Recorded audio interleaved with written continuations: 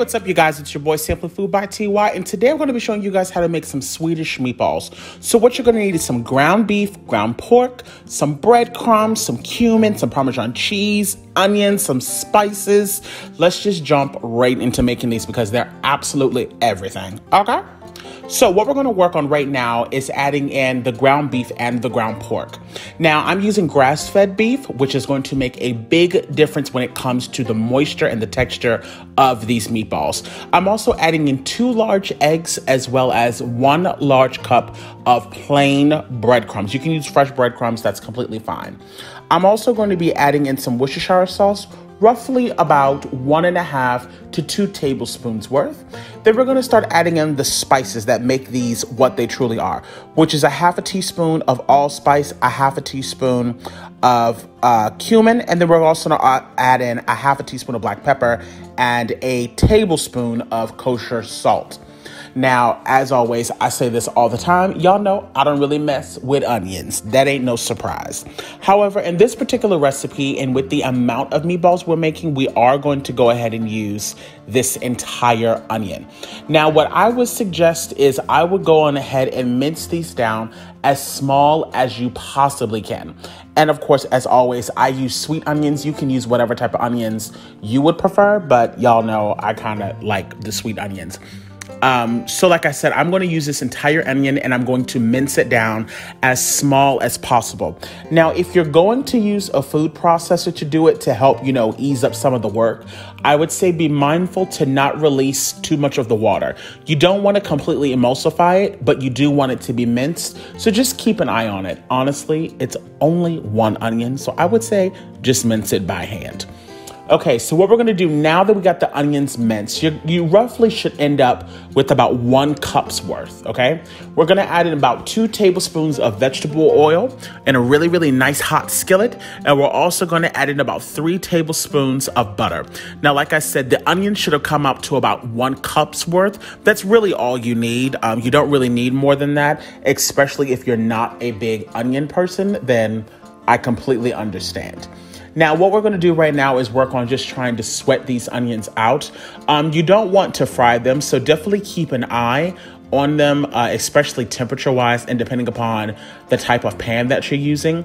This is a stainless steel pan, you know, this is one that can go directly in the oven. And you really have to keep an eye on these type of pans because sometimes they run hot. And it also depends on the type of stove top that you're using, be it gas, electric, flat top because you know these type of burners that you're looking at right now i typically don't cook on. So sometimes they can make things very uneven because they're not necessarily always level. So one side of the pan can be hotter than the other now that these have kind of sweat out what we're going to do is we're going to add these directly to the ground beef. Now i know you guys are thinking i'm about to burn the living hell out of my hand but don't worry i am not. Everything's going to be a-okay because while we were cooking that i put this entire bowl in the fridge so that the meat could get nice and cold. And now i'm just going to mix it for just a few seconds with the spoon just to slightly drop the temperature of the onions. And then, of course, I'm going to go in with my washed hands and we're going to go on ahead and mix this up. I'm also adding in about a half a cup of whole milk. That is going to add even more moisture to these. Now, I'm going to tell you the one thing about Swedish meatballs that I love the most is the fact that they kind of just melt in your mouth. Now, as you can see, this meat looks extremely soft, dare I say, even almost soggy looking in a sense. That's exactly what you want if you try to start cooking these meatballs, you know, without any moisture in them and any breadcrumbs, they're just gonna come out hard as a brick. And that is not what Swedish meatballs are all about. Now, I will say, if you find that it seems like yours is drying out a bit, you can always add in a little bit of milk at a time. So don't go crazy with it. Start with a half a cup, and then if you need more, then you can. But be mindful you don't want it to be too loose or they won't form together, which is what we're about to do now. So I'm doing them in nice small bite sizes, and I'm pretty much about to fill up this entire tray. So as you can see, I got quite a few meatballs out of this recipe. Now, if you want, you what you can do is you can also freeze these so that you don't have to cook up the entire batch. That's completely up to you, you know, should you choose to do that. Now, what I'm about to do now is I'm just slightly searing these off, okay? We're not trying to fully cook these, we're just slightly searing them off because we're going to fully cook these inside of the sauce, which we're going to work on in a few moments. So for right now, I would say go on ahead and have your skillet on about a medium high and just let them sit on one side for roughly, I would say, no more than a minute. You know what I mean? Depending upon how hot your pan is, I don't think they need to sit for more than a minute, to be honest with you.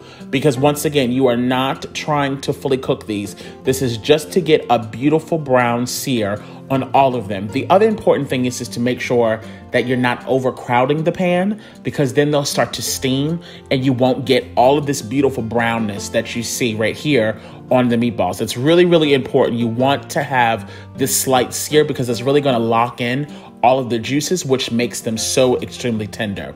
Now, now that we've browned them all off, we set those meatballs to the side. We've just added in roughly, I would say, about four tablespoons of butter. Now we're also going to add in a half a cup of flour. We're doing equal parts here. Now, I would say this is, if not the most important step. As always, y'all know I take it real seriously when we start to talk about a roux, honey. Now, what I'm doing right now is I am in the process of cooking out the flour. This is a very, very important step. One, because if you do not cook out the flour completely and you just immediately start to add the liquid to it, everything is going to taste, it's going to have a raw, floury taste to it, and you are not going to be happy about it. So don't skip this step. It is also extremely important that you make sure that you are consistently stirring it.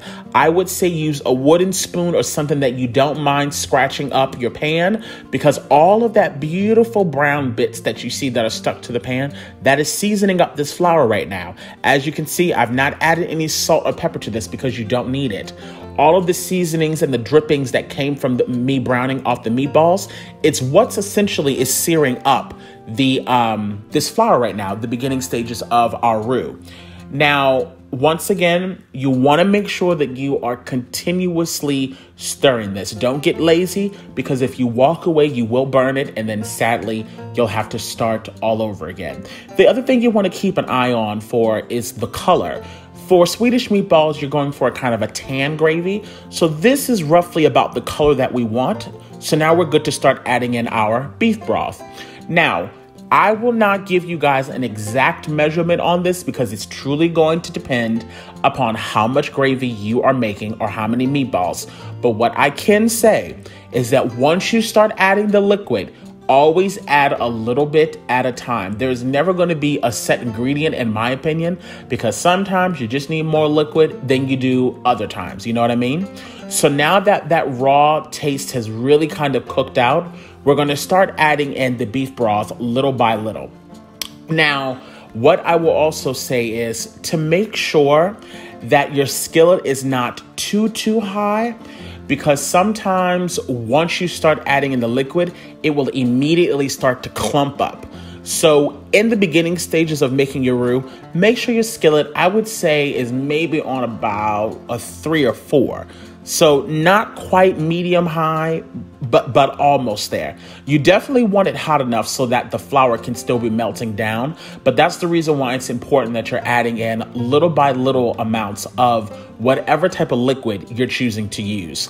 Because what what'll happen is if you add in all of the liquid at once, it'll completely clump up and turn into a big mess and then you'll never get it smooth. So what I'm going to do is I'm going to be quiet and I'm gonna let y'all watch me get this gravy together and you will see how I will be continuously stirring this, adding it little by little, and you will also be able to see how the texture is going to slightly change and how it's going to thicken up. So sit on back on it, watch, and learn something.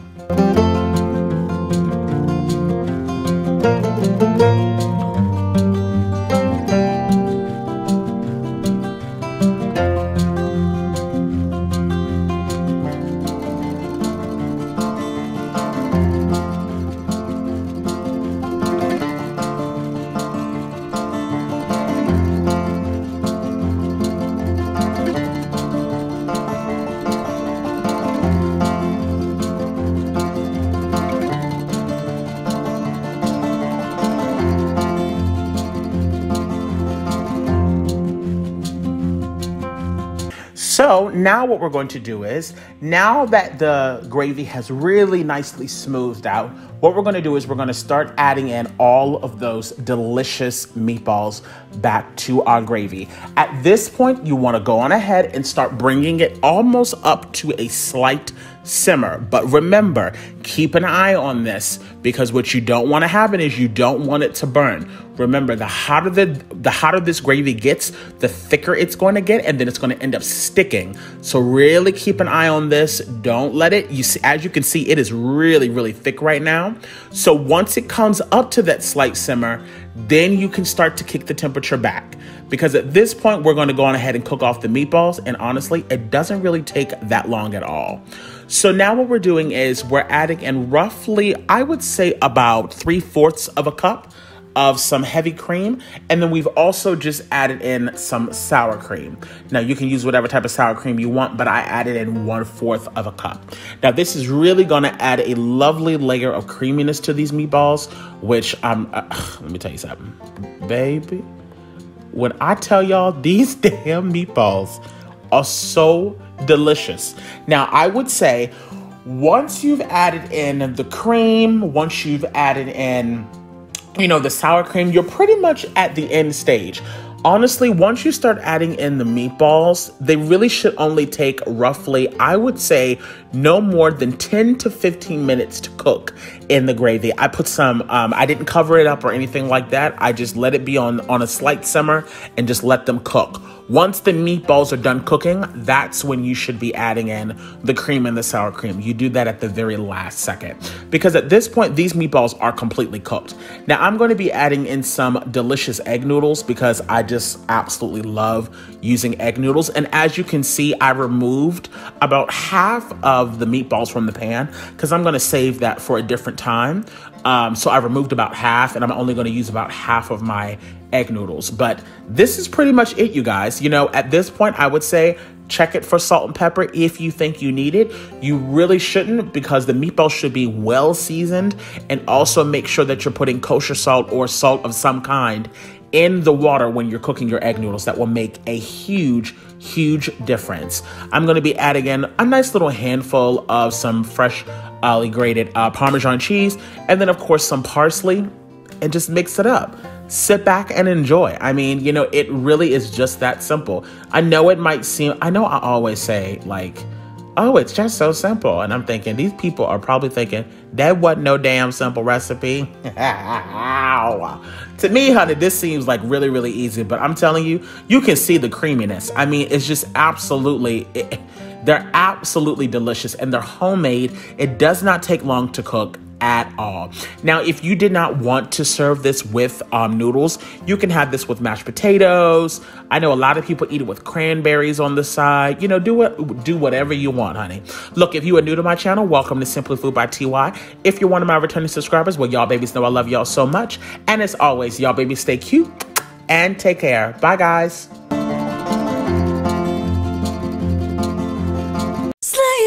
Kitchen. Simply Food by TY. We hope that you enjoyed it. Simply Food by TY. If you haven't took the time, make sure you subscribe. Thanks for watching. Thanks for watching. Thanks for watching Simply Food.